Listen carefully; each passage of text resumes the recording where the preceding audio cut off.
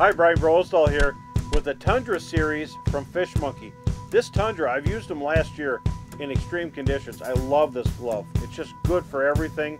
Has a real good feel. It's warm with 260 grams of Thinsulate. It's got nose wipe. Also has a complete waterproof membrane in here so you're, you're never gonna have wet hands. And then it's also got a neoprene wrist right here that extends out to keep snow from backing in. It's got monkey grip in the palms, which allows you to hang on to stuff without slipping out of your hands. Drilling holes, riding a snowmobile, or hanging on to fishing gear. It also has a, a cell phone friendly built-in tip here. Uh, and a neat thing about this glove itself is the fit and finish. It's one of the best gloves I've ever used. Now take this glove and make it a half finger.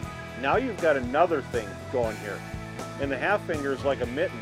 This folds over the, the tip and you can stick a hand warmer in there with little loops to pull it on and off. So you have your choice of a full finger or half finger. The Tundra series. This is a home run by Fish Monkey. And I've used them and I love them.